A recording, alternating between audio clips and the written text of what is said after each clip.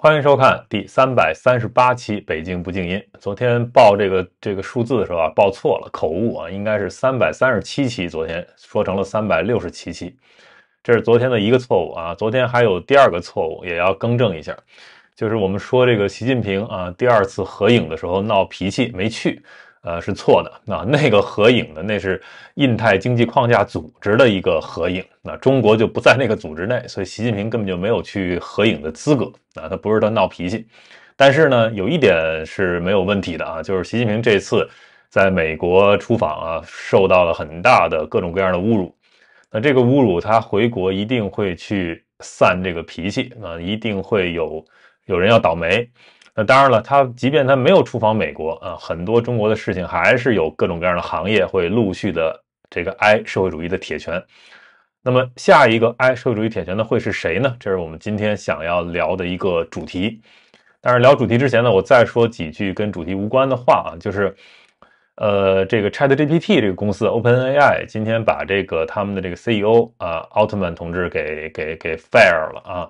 那么根据这个呢，我刚才也把这个 ChatGPT 的这个 Plus 的订阅暂时先停了，想看一看这个公司究竟会折腾到什么什么地步。因为之前呢订阅这个 Plus 主要是我是觉得它可以生成这个图片啊，我觉得很好玩，也做了几期的这个本节目的封面图。但是呢，它这个生成生呃这个封面图啊有很多的限制。那你比如说，我想生成一个习近平，那不可以，你只能尽力的去描述啊，一个什么两百斤的一个猪头，一个怎么怎么样啊，尽力去描述。但是呢，还有很多限制，而且由于我们经常讲到一些现实问题，所以这些现实问题呢，在变成图片的时候，往往那个图片都比较的丑陋啊，比较难看，因为揭示那个现实的黑暗嘛。但这个跟我的这个审美也有一些不匹配的地方啊，所以我们。暂时先回归到过去的这种封面图的模式啊，就是大家看我这张脸就好了。以后如果那个那个人工智能技术有了更好的发展，我们再看看能不能让它做更有意思的封面图啊，那个是以后。但是呢，人工智能现在在封面图上帮不了我呢，它在另一个上面呃对我进行了一个帮助，就是一个我的一个观众朋友啊，他在推特上私信我，那教了我一个方法，所以呢。大家也看到了啊，本期节目开始有字幕了。虽然这个字幕是简体的啊，然后虽然这个字幕是我直接带的这个视频里加过来的，不是这个 YouTube 自己的那种 CC 字幕啊，可以换各种各样语言的，不是这种方式啊。但是至少它有了一个简体字幕。呃，我也了解到有的朋友他是不听声音的，有时候就是这么看一个画面啊，他这个字幕对他很重要。所以我们从本期节目开始啊，那么我争取。都会有加上这个字幕，那这是一个我觉得又是使本节目变好的一个做法吧。啊，而且呢，这个做法呢，我要额外付出的时间并不多，啊，这个非常好。呃，OK，那我们今天呢就回归到这个正题啊。下一步，在中国墙内有可能哪一个行业会，就是像之前的教培行业啊，对吧？之前的种种倒霉的行业，下一个会是谁呢？有可能是这个医美行业。那我给大家分析一下，我这两天看到了一篇墙内的《中国新闻周刊》的文章。这个文章啊，呃，它的标题叫“贪官美容腐败有多疯狂”啊，好像说的是腐败的事儿，但是后面这个这个风一定会刮到整个医美行业。上来说啊，说这个四风问题仍然是纪监，呃，纪监这个监察部门啊。关注的重点之一。那么，中央纪委国家监委网站发布了一个文章，十一月十六号的时候说，持续擦亮作风建设金色名片。这是说什么呢？四风问题的表现之一就是奢靡之风，这个是现在中央要打击的奢靡之风。然后这个奢靡之风啊，就说你看他报道了好几个，举了好几个例子啊，我觉得大家可能可能爱听，我给大家念一下啊，就是。多名被查的官员痴迷于美容啊，他们都干了一些什么事儿呢？这种享受型的啊，追求奢靡、享受型的美容服务，那么他们要切实避免由风及腐啊，就这么一个风气变成了，最终变成了哎腐败腐烂。这儿先是十月十八号，北京市纪委监委发布消息。北京市延庆区政协原党组成员、副副主席陈桂芬被开除党籍和公职。这个陈桂芬是一个七零后的女性干部啊，说她经常收这个礼品，然后呢接受这种美容活动的安排啊，然后她就为他人啊在延庆区承揽工程啊、土地开发等等这方面去谋取利益。啊，然后呢说，你看十五万打美容针，五十万美臀。啊，一次美容消费六十九万等等啊，这个不不只是陈桂芬这人啊，就是说很多官员是这样的，说更有官员在美容上花费四五百万啊。这里边又又说了一个人，辽宁省鞍山市的国税局原局长刘光明啊，说在这方面颇为知名，也是一位女性同志啊，她曾花五百万元去香港等地整容。说仅臀部整形费就高达五十万，因此被外界戏称鞍山市最美丽的臀部。还有呢，七零后的许爱莲长期在内蒙古工作，后来官至内蒙古满洲里市市长。二零二零年六月被双开通报提到，他搞迷信活动，违规拥有非上市公司股份，为黑社会性质组织充当保护伞。后来，《监察日报》披露了更多信息，就是他在生活上啊，说他信奉佛教，坦然收受企业主赠送的价值十七点四万元的冬虫夏草啊。冬虫夏草前一阵也哎科普过了啊，这个都是智商税啊，没有用的。说他接受企业主提供的美容服务，打一针的费用是十五万元。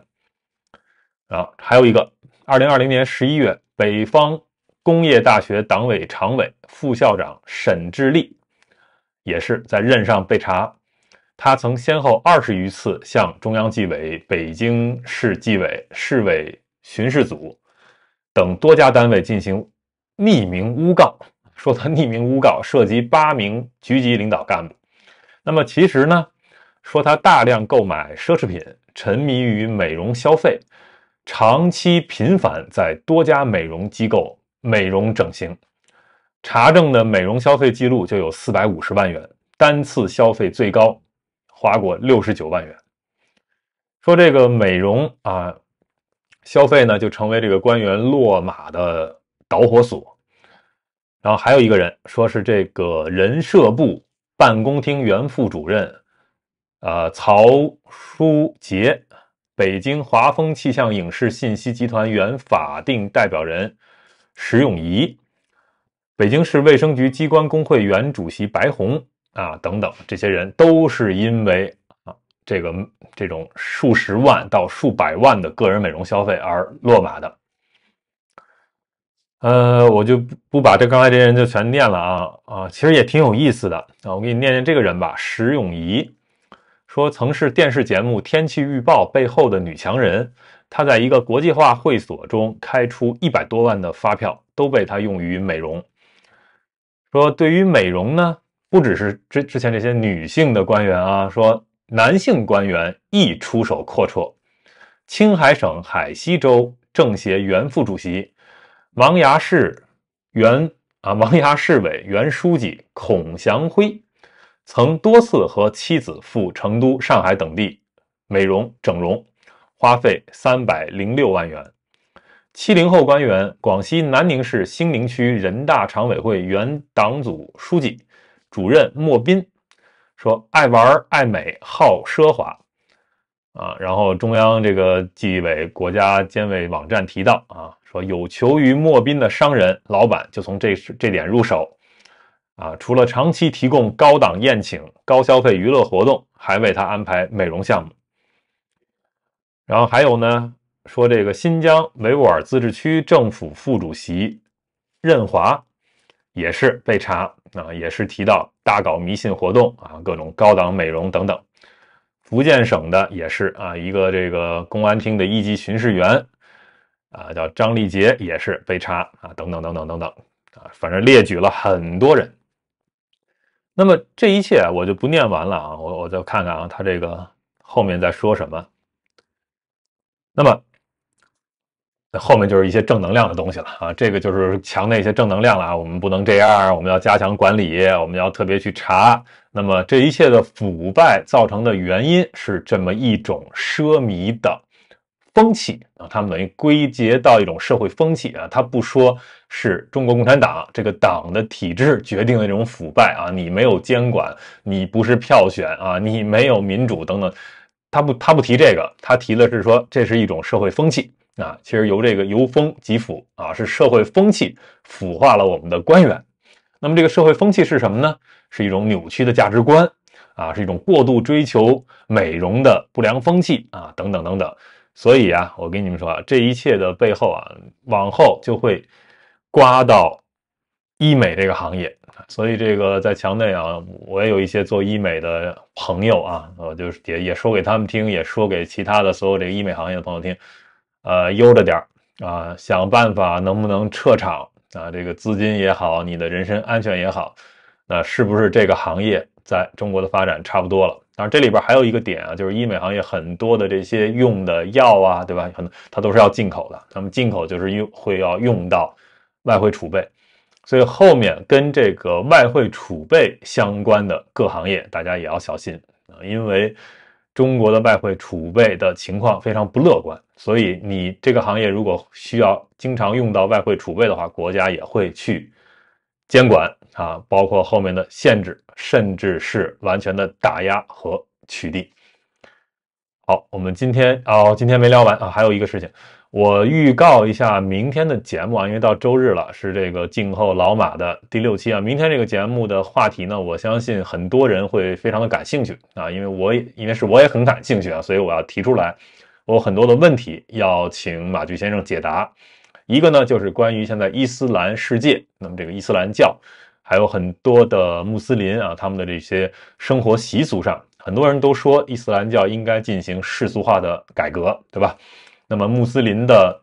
很多的生活方式啊，大家最最熟悉的，比如说这个女人啊，这个头巾啊，有的地方甚至完全的遮面啊，等等这些地儿，大家所非常不了解的啊，为什么要这么干啊？他们有没有不这么做的自由？那么除此之外，还有很多的世俗化改革应该怎么做啊？应该怎么好像大家能够呃融入起，变成一个。真正的一个文明世界啊，等等这些话题，我们来听听马驹先生会怎么说。那我会有一些问题问他。其次呢，由这个我们就推广到在中国墙内的这些穆斯林有一个很庞大的群体啊，就是我们经常说的回民、回族。那么回族呢，实际上他们很多人啊，在这个中共的这种意识形态下，他们已经进行了很多的世俗化的改革。那么我们就来来，也想让马驹先生介绍啊，了解一下。那么目前中国的回族的这个生活的现状是怎么样的？他们在这种改革的过程中，有哪些是比如被强迫的？有哪些是慢慢的就转变了，对吧？这种转变当然有利有弊，以及呢，我们要看到，当然很多的他们还会去有过去的这些习俗，对吧？有过去的这种习惯和他们的信仰。那么这一切都跟那些汉族汉民是。有些东西啊是格格不入的，那么也要看到未来，当那片土地的秩序发生混乱和颠覆的时候，中共没有办法去维稳的时候，那么这两种不同的生活习惯，两种不同的族裔，那么有没有可能爆发一些矛盾啊、冲突啊？这些关于未来的事情，我们也是明天想聊的啊，不知道能不能聊完，但是我尽力会去提一些问题，好吧？呃，对这些话题感兴趣的朋友，欢迎明天来到。我这个节目的直播间啊，然后后面我会我会留时间给大家，大家有有关这方面的问题啊，也可以提出来问我或者问马驹先生。好，我们明天再见，感谢收看、订阅、点赞。